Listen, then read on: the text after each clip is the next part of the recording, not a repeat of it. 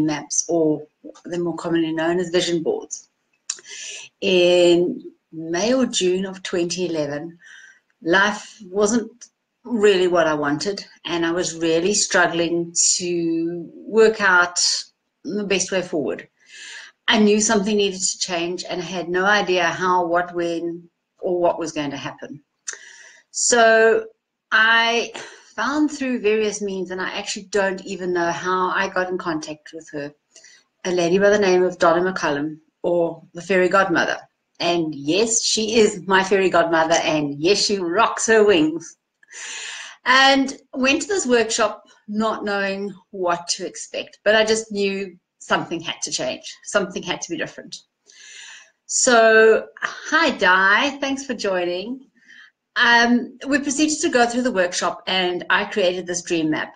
And I really, I wasn't sure about this at all, but I thought, well, nothing else has worked up until now. Something, something else is going to have to shift. It really has to. So I took my dream map home, not really thinking anything much about it. I'm like, okay, chalk that experience up. No, tick it off. Let's go and see what's next on the experience list. And it wasn't until much, much later that I actually realized what had happened. I had followed the process, and there's a whole way that you go through this. And I didn't think anything was moving, and I didn't think anything was changing. And I carried on with my life. And then in October 2011, six years ago, in fact, six years ago today, my life changed dramatically and completely. And when I look at the picture of my dream map, my central photograph that I'd, well, picture that I pulled out of a magazine was that of a lady painting facing a blank canvas. And that is exactly what I landed up with on in fact, I moved in on the day of the 10th of October. So 10 10 2011, I moved in to a new flat. I'd uprooted my life. My kids, adult kids that they were, they thought their mom and dad were settled and everything was hunky dory. So I'd upset their lives as well. Um, my ex as well. He was another one that was a, a thing. Dogs were shunted around. House was sold and I moved into a place that was brand new to me. It needed a lot of changing, it needed a lot of painting and a lot of facelifts and things like that. But it was my space and my home, and it was something that I could do for myself.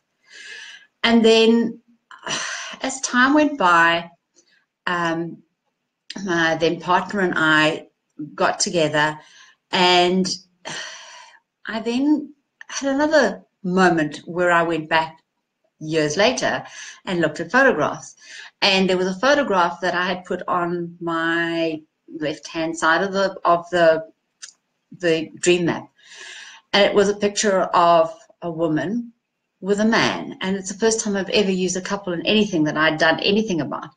And she was standing behind him with her arms around him and they were laugh, laughing and smiling. And I realized, hang on, I've got a photo like that of Greg and I exactly the same position.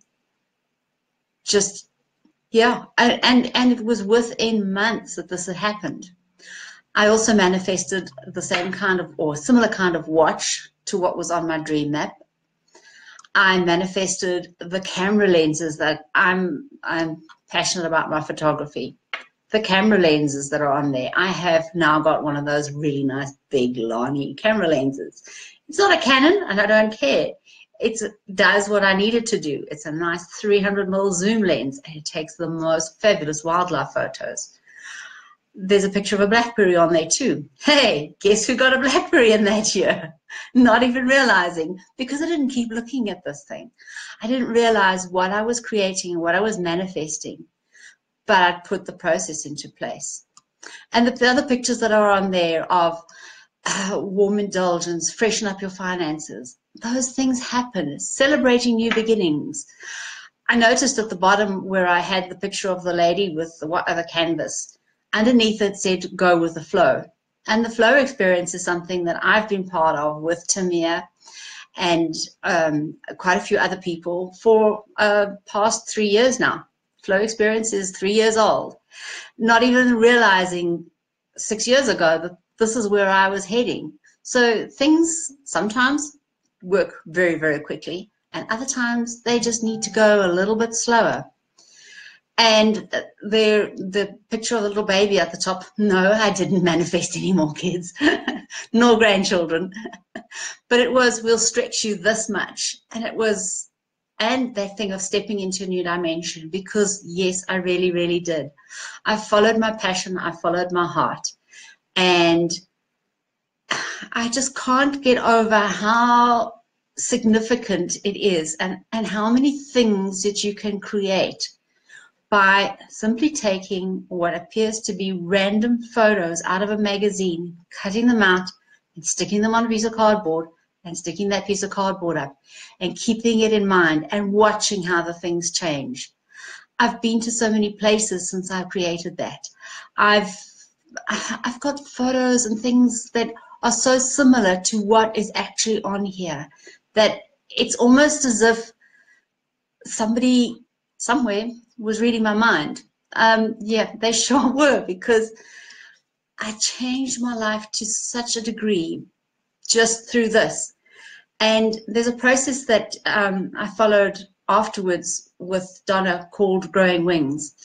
And I still remember sitting there, and in fact, this was in the December, and I kept saying to her, I'm not getting any answers. And I think I drove her crazy saying over and over and over again, Donna, I'm not getting any answers. But what neither of us realized was the answers were already there. They were materializing. I just wasn't, I, I wasn't seeing it. And it took me a while before I could go back. And I don't even remember why there was that disconnect. I think I was just so focused on things have got to change. And I wanted this huge, big fanfare of change. And, but I had it. I had uprooted everything and I had changed everything. So for anybody who's looking for answers or who's struggling to find out what do I do and how do I change it, I just know something needs to change and I don't know how and I don't know where. Honestly, a dream map is the way to go. I, I can so recommend it. And that is, in fact, why I became a facilitator for dream mapping.